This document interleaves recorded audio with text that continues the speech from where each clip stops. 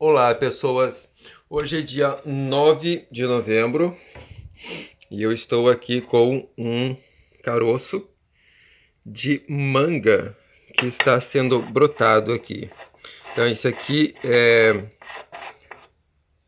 Para quem não sabe, para brotar caroço, caroço de manga tem que ter uma manha especial, que é você tirar aquela casca grossa que ela tem, que é essa aqui. Eu guardei aqui para mostrar. Ela é bem dura, bem difícil de cortar, mas com estilete é, e muito cuidado dá para você tirar. No caso, é, eu cortei aqui, é, fui cortando aqui na beiradinha, essa beiradinha aqui do, da borda, né?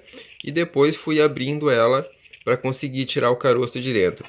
Aí, no dia 13, 13 de 10, eu coloquei ela aqui nesse recipiente com água, né, para ela ficar úmida e começar a brotar. Então, hoje, é, na verdade, amanhã, né, amanhã está completando quatro semanas e ela está desse jeito. Com duas semanas, ela começa a brotar, ela começa a aparecer a raiz, né, aqui.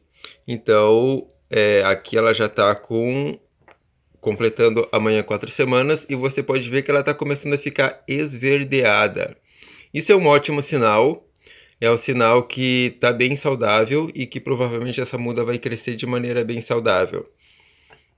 Então aqui, essa parte aqui é onde sai a raiz para baixo e aqui já dá para ver que está começando a sair o brotinho que ele vai subir para cima, né? Para o outro lado. Né? O brotinho está começando a aparecer aqui já com a cabecinha ali bem esverdeada. Né? E essa parte aqui, essa polpa, né? essa parte carnuda aqui, depois ela vai abrir e é daqui que vão sair as folhas, né? as primeiras folhas da muda de manga. São folhas grandes, são folhas enormes.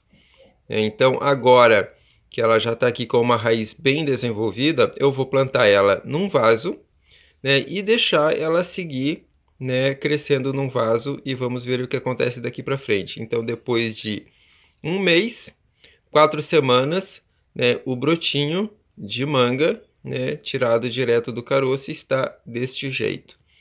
Então, à medida que houver aqui novos desenvolvimentos, eu vou gravando aqui num vídeo para mostrar como que ela vai se desenvolvendo.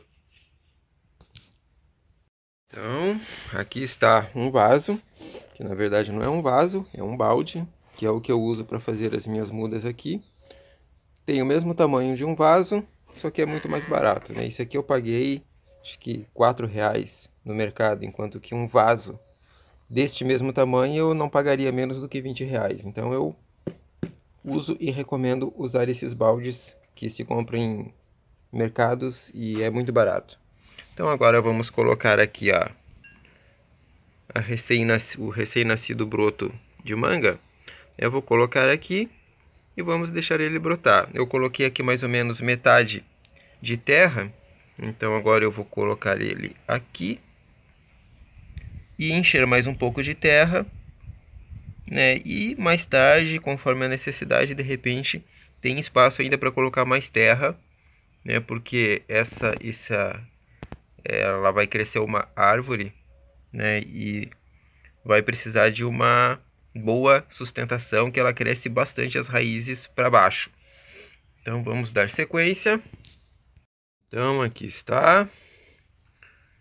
É, deixei aqui essa parte da semente para fora, né? Porque depois o broto ele vai aparecer por aqui e vai crescer e essa parte aqui ela vai abrir e vai virar as folhas da muda. Então vamos deixar assim e vamos ver como segue daqui para frente. E aqui, aproveitando para mostrar. Ah, bom, eu deixei a terra aqui bem encharcada, né, porque essa terra estava seca, que é a terra seca que eu costumo usar aqui. É, eu gosto de deixar ela bem seca, que é bem fácil de trabalhar assim. Essa terra que tem aqui, uma terra preta, terra boa para fazer plantações, embora geralmente nasça mais mato do que qualquer outra coisa. E só para mostrar um pouco aqui do que eu ando fazendo, Bom, esse aqui é um pé de abacate que eu estou cultivando. Ele tá, acho que já faz com uns dois anos agora. Tá bem grandinho, tá com uns 60, talvez 70 centímetros de altura, está crescendo bastante. Aqui mais umas mudas, muda de laranja, que eu adoro tomar suco de laranja em casa, então eu tenho aqui muitas mudas de pé de laranja crescendo. É, essas aqui estão maiorzinhas, eu vou esperar elas crescerem mais um pouco, para daí plantar lá fora, né? Que aqui nós estamos dentro da estufa que ainda está em construção.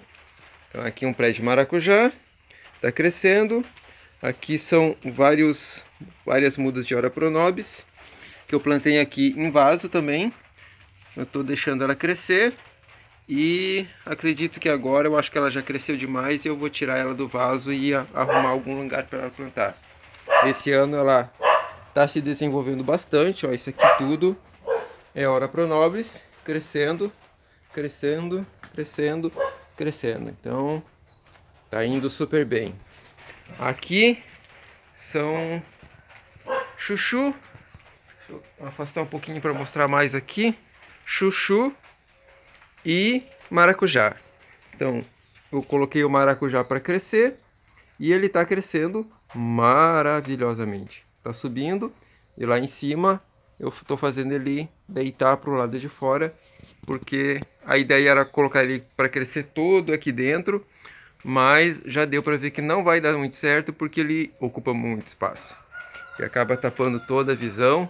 Então, ó, tá crescendo tudo isso aqui é chuchu e maracujá. Aqui mais um pé de chuchu e mais um vaso de Ora crescendo. Aqui outro outro pé de abacate né, que está crescendo aqui também, está saindo umas folhinhas novas agora. E aqui algumas mudas de caqui. Aí essas, essas mudas aqui também, elas foram brotadas a partir do caroço, né, que eu gosto de fazer dessa maneira. Eu adoro né, plantar as coisas e ver elas nascerem e crescerem. Aqui é uma muda que eu tô é, tentando aqui fazer um time-lapse. Coloquei uma câmera aqui para fazer imagens. Cada dia eu tiro uma foto e depois usar as fotos para fazer um videozinho para mostrar o crescimento da planta ao longo dos meses. Aqui mais mudas de pé de laranja, algumas que não deram muito certo porque as lagartas comeram. Laranja, laranja, laranja, laranja, mais pé de laranja, mais laranja, laranja e mais alguns pés de laranja. E aqui algumas mudas de grama japonesa que eu estou tentando é, cultivar da, em blocos, né, para depois eu poder fazer um jardim usando esses blocos né, mais ou menos prontos. E é isso. Então essa é a minha estufa que está em construção no momento. São é, 3 metros aqui de largura por 5 metros de comprimento. É, essa aqui é a parte da frente que está fechada, é mais ou menos fechada, né? Falta essa parte de cima, que eu pretendo fechar ainda com plástico, né? Para evitar a entrada de insetos. E aqui as laterais, que ainda não está pronto. Essa parte aqui ainda vai ser toda desmontada.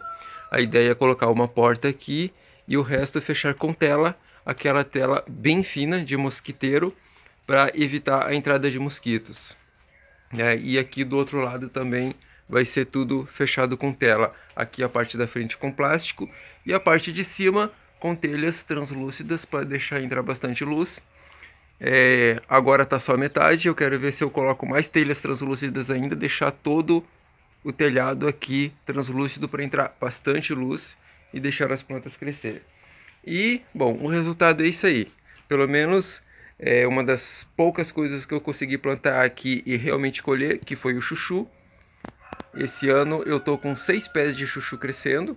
São um pé lá, mais um aqui, mais outro aqui na outra ponta e mais três pés fora da estufa. E o pé de maracujá, que eu acredito esse ano vamos ter uma colheita maravilhosa de maracujá. É esperar crescer e começar a colher. É isso, galera.